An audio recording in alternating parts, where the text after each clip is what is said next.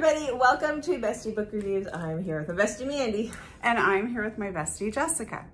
Mm -hmm. All right, so we are starting a new series. Once a month, we're gonna put out a video about all the authors that are attending Beyond the Reader event in Ohio, which is in June. And we're influencers there. You might have seen us post about that. So as part of that, we are gonna be highlighting all the authors and their works.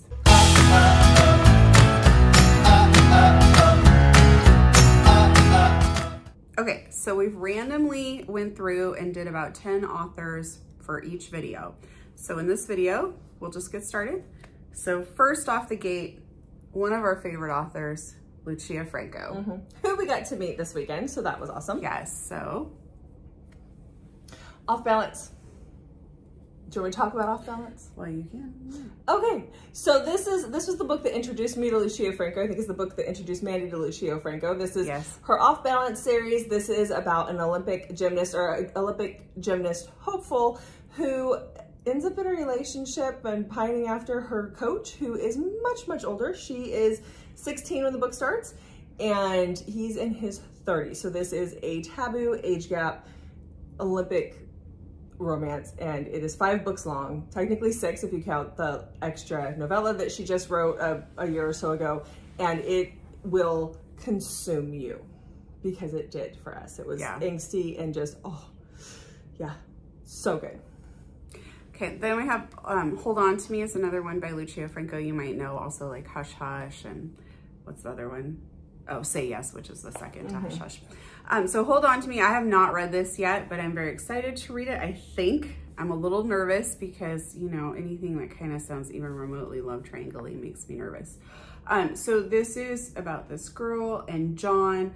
They're together and then something changes their lives forever and he gets pushed into the arms of someone else and then he disappears. And when he comes back a couple months later, things are complicated because she's pregnant and she doesn't know if he is the father or not.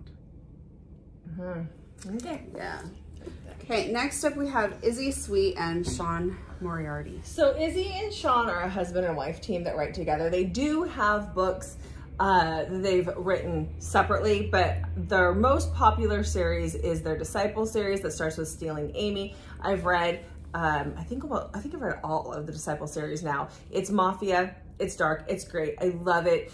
Um, you and I both read Broken Wings, which is the MC yes. amnesia romance, which started our Izzy Sweet and Sean Moriarty journey because that was so friggin' good. That was. Uh-huh. And then I also have um, Willing, which is a part of their Un series. They've only written the one. They're, they were writing the second book to go in the series. It's just going to be um, interconnected standalones. But this is a vampire, vampire huntress um, and Mandy's gonna be reading this really soon. So yeah, so this is really, really good too. Okay, next up we have Kristen Lee, and she writes sports romance with swoon-worthy heroes. I recently read Stealing a Second Chance, which is a baseball romance where he uh, and her were like friends when they were kids and something has happened between the two of them. She has an older brother that she doesn't want to betray, but we don't really know what's going on. And so you kind of have to read the book and there's some things that happen and there's some twists and turns, but he gets um, transferred or not transferred, but like, he's kind of traded just for his rehab time to the team that she is a PR manager for. And so the two of them are kind of thrown together and he's trying to rekindle something. And yeah, lots of, there's lots of some twists and turns in that one. And then she has another one that's called Ride with Beckett and it's age gap and arranged marriage. Mm. And I really want to read that one. It sounds very good. Okay. All right. So the next one that we have is Liberty Parker. We both have not read anything by Liberty Parker yet, but she writes MC romance. Her most popular book is um, Braxton. It is the number, like book number one in her Rebel Guardians MC. Uh, and it sets up this single father who comes to this town to start this new MC, to set up this M new MC group in this town and he um, meets a woman who's also just recently moved into town. She's a single mom and his neighbor. So their kids hit it off first, which then sounds like it, that's what leads to them oh, becoming more. Interesting. Mm -hmm. All right, next up we have Stephanie Webb Dillon. I have not read anything by this author yet, but I will be. She also writes MC, which is a theme in our, I don't know how this happened. Yeah. Um, so she also writes MC and she has the Undertaker's Match series and Zeke is the, or not series, excuse me. The Undertaker's Match is the name of the first book in the series. And Zeke is the Ripper's president and his wife gets sick and dies. He loses himself like in this whole process and hooks up with this waitress. And then Annie shows up six months later, pregnant, jobless, and homeless. Mm. Yeah. Okay. Sounds okay. good. Yep.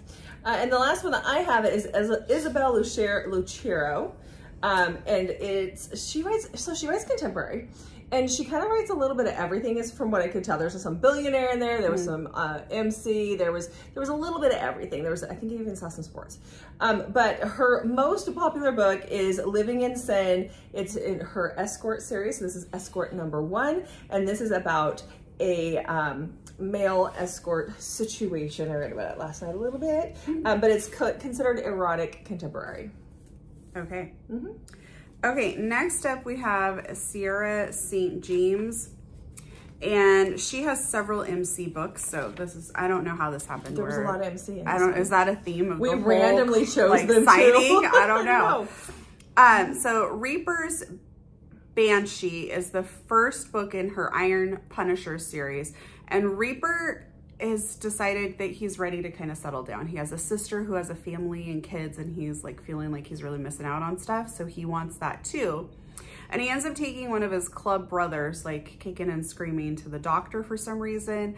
And this is where he meets Cheyenne, who is the doctor, and he falls for her. But something has happened to Cheyenne and she is pretty much terrified of the bikers in town. Okay. So, All right. yeah. Okay. Right. So that's our first chunk of authors. So, yes. So let us know if you're going to be in Ohio. Like comment that below. And if you've read any of these authors, what are some favorites of yours by them that we should be on the lookout for? And if you haven't, what's something that you're wanting to read by them? Mm -hmm. Also, if you want to see us in Ohio, tickets are still available. Yes. I don't know for how much longer though, so yeah, get so definitely tickets. get on them. I know the the top tier VIP for sure is sold out, but there are still tickets available, so you could come see us in Ohio. Yeah. Mm -hmm. All right, we'll be back. Um, this is actually coming out of the very beginning of October, and we'll have one at the very end of October because this is supposed to be the September one, but our schedule just didn't allow it to get out in September. Mm -hmm. So we will be back at the end of the month with our next 10. Yep. And in the meantime, make sure to hit that subscribe button and hit that notification button so you never miss a video from us. Mm -hmm. And also make sure you check back Mondays, Thursdays, and Saturdays for new videos from us. Thanks for watching, guys. We'll see you in the next video.